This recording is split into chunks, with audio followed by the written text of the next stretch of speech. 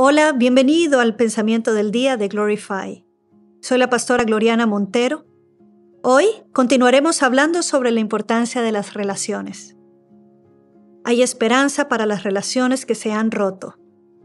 Dios vela por nuestras relaciones y da nueva vida a lo que se ha despedazado. Así que no pierdas la esperanza. Mantén tu mirada en Dios, incluso cuando parezca que tu relación no se arreglará nunca. Dios nuestro Padre Celestial es el Dios de la restauración.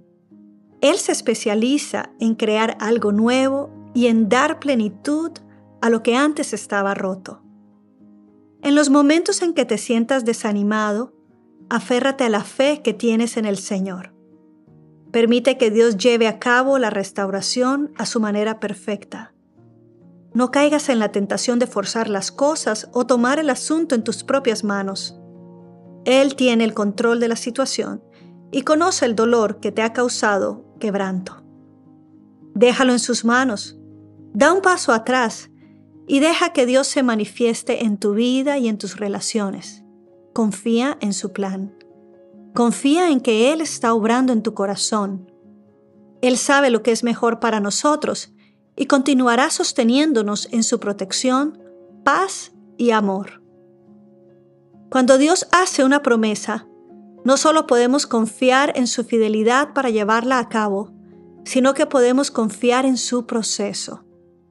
Él desea restaurar los lugares rotos de nuestra vida. En la Biblia podemos encontrar muchas historias de restauración. Hay una historia de un joven que se alejó de su familia y dejó su hogar. Esa familia estaba rota. Uno de los suyos se había perdido. Pero cuando este hijo pródigo regresó a casa, parecía que la restauración era solo para su vida quebrantada. Pero recuerda la respuesta del padre al ver a su hijo. Mi hijo ha vuelto.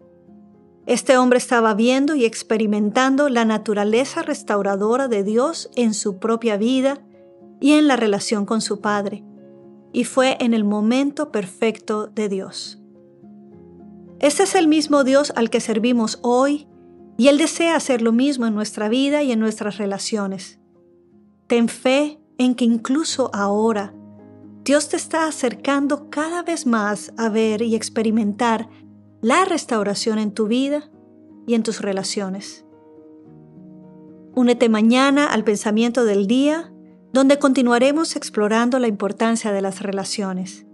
Que el Señor te bendiga.